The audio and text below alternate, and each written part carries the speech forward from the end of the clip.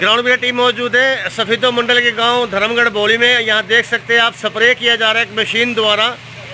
Sanitiser का जो spray है, ये जो कोरोना वायरस के चलते जो वैश्विक महामारी ये फैली है पूरे विश्व के अंदर, जिसने पूरा कोहराम मचा रखा है।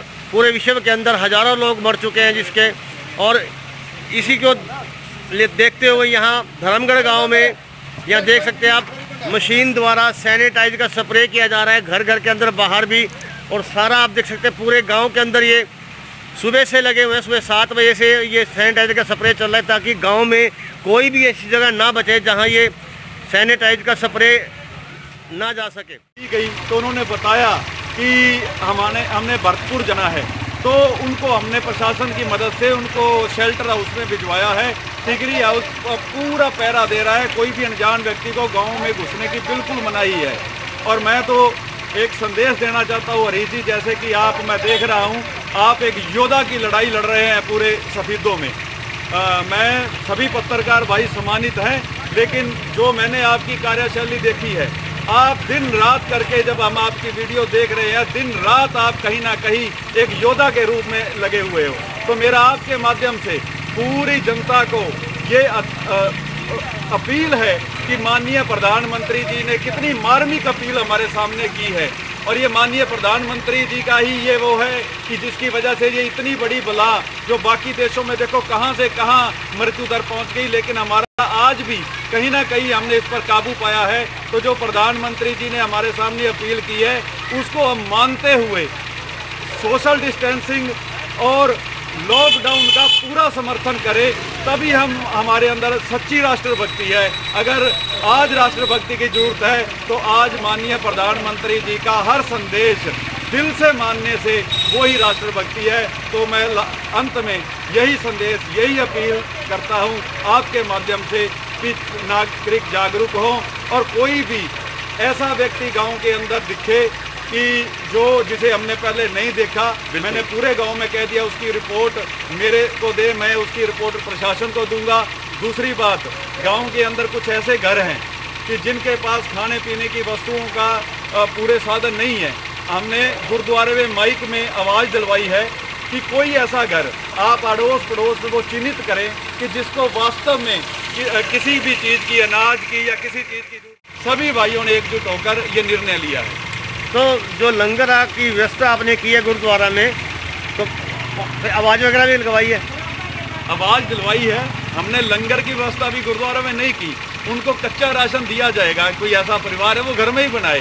क्योंकि लंगर से थोड़ी सी अव्यवस्था भी फैलेगी, उसमें सोशल डिस्टेंसिंग का जो हमारा वो है, कहीं ना कहीं उस पर वो चीज़ आएगी तो जो ऐसा परिवार है, उसको हम पूरे का पूरा राशन देंगे, कच्चा राशन देंगे। तो जो राशन दिया जा रहा है ग्राम पंचायत की तरफ़ से है या गाँव के सहयोग की तरफ़ से है? पूरा गाँव के सहयोग की तरफ़ से हम अच्छा, पूरा गाँव सहयोग कर रहा है? पूरा गाँव हर घर से? हर घर जो गरीब तबका है? जो गरीब तबका सबका सहयोग होगा। कोई ऐसा परिवार महरूम ना रह जाए कि जिसको बेचारा रोटी का या किसी साधन से उसकी कमी हो उसकी पूरी की जाएगी। सरपंच साहब गाँव के लोगों को कैसा सहयोग मिल रहा है लॉकडाउन को लेकर? बहुत ज़्यादा सहयोग है। सभी जागरूक है। मेरे हिसाब से आप हरीश जी मानोगे हमारे पूरे गाँव में चलो दो चार दिन पहले कुछ युवा थे जिनको अभी इन चीज़ों की उनको समझाया। लेकिन उसके बाद वो बिल्कुल बात मान गए। अभी बिल्कुल लॉकडाउन होता है हमारा गाँव कभी आप आके देख लेना यहाँ आपको कोई भी ऐसी व्यवस्था नहीं मिलेगी। तो ये सैनिटाइजर का छिड़काव किया है। ये हफ़्ते में आपने कहा कि एक बार होगा। क्या हफ़्ते में एक बार करना काफ़ी है?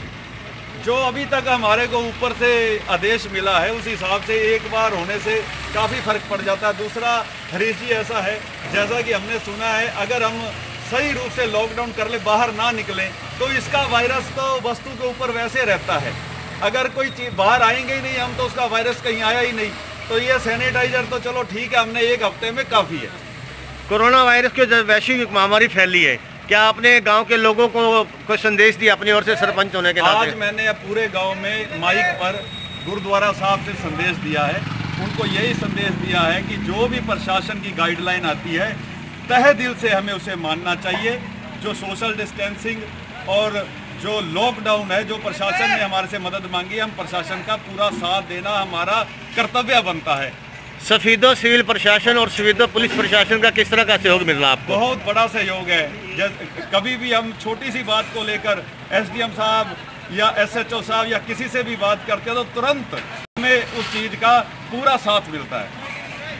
तो अंत में एक सरपंच होने के नाते आज पूरे विश्व को ही कह लो जो वैश्विक महामारी फैली है हमारे ग्राउंड मीडिया के चैनल के माध्यम से क्या आप संदेश देना चाहेंगे? मैं ये संदेश देना चाहता हूँ कि आप अभी राम नाम का जितना जाप करोगे घर में बैठ के कि राम नाम उसी ने अगर कोई कष्ट आया है तो भगवान ने वो हमारा कष्ट दूर करना है बिल्कुल। हर घर में राम का नाम लिया जाए जितना हो सके और इस कष्ट को दूर करने की अब भगवान से प्रार्थना करें, भगवान ही इस चीज़ से हमें निजात दिलाएगा।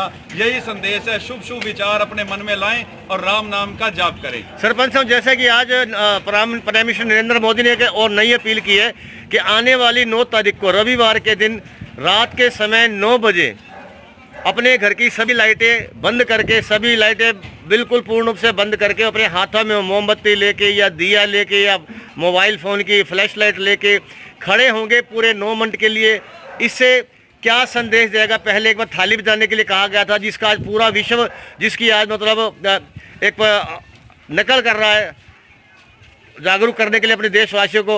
और प्रधानमंत्री मोदी ने जो 9 तारीख को रविवार को जो मोमबत्ती जलाने का जो संदेश दिया है पूरे देश भर में के अंदर क्या कहना चाहेंगे इस बारे में आप? और इस बार 9 तारीख को आपके गाँव में कैसा माहौल होगा प्रधानमंत्री जी की एक बहुत ही मार्मिक अपील थी। ये उन्होंने कहा है कि जो अंधकार है अंधकार को हमने प्रकाश से जीतना है। और एकता का परिचय देना ये भी कहा उन्होंने। उसमें हम हम सबको एक होकर भगवान के आगे आराधना करनी है। वो अपने हाथों से वो कोई दिया बाती टॉर्च जलाकर उस भगवान को हमने अ, उसकी आरती करनी है भगवान की कि हे भगवान जो हमारे ऊपर ये इतना बड़ा कष्ट आया है उस कष्ट को हर ले और हम प्राणियों को बख्श दे। और ये जो प्रधानमंत्री जी ने अपील की है पूरे गाँव में इसका प्रचार किया जाएगा और रविवार को 9 बजे 9 मिनट तक पूरा गाँव इस आज्ञा का पालन करेगा। एकजुटता का संदेश जाएगा इससे। और पूरा विश्व आज भारत के संस्कृति के सामने नतमस्तक है इस वैश्विक महामारी के चलते के जो उपाय भारत में किए जा रहे हैं भारत के लोगों द्वारा किए जा रहे हैं क्योंकि सबसे एक हिंदू राष्ट्र माना गया आज पूरा विश्व जो है, आज नतमस्तक है हमारे भारतवर्ष के सामने। इस वैश्विक महामारी के चलते जो भी यहाँ उपाय किए जा रहे हैं, इससे बचने के लिए आप क्या कहना चाहेंगे? मैं तो ये कहना चाहूँगा कि जो भी हमारे अग्रणीय प्रधानमंत्री जी ने आज विश्व के एक नेता बनकर उभरे हैं इस कोरोना महामारी से।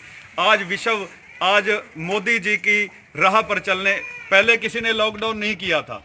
लेकिन जब मोदी जी ने लॉकडाउन किया तो मोदी जी को देखकर सारे विश्व में बड़े बड़े नेताओं ने उनके राह पर चलकर लॉकडाउन किया और डब्ल्यू एच ओ ने भी मोदी जी की वो तारीफ़ करी है। आज मोदी जी विश्व के नेता बनकर उभरे हैं इस कोरोना महामारी का। जब कभी समय आएगा, बाद में इतिहास लिखा जाएगा तो मोदी जी का नाम स्वर्ण अक्षरों में लिखा जाएगा। चलो ग्राउंड में से बात कर लेंगे। बहुत बहुत धन्यवाद। कुछ दिखाना चाहेंगे जो मशीन गाँव में लाई गई है धर्मगढ़ में?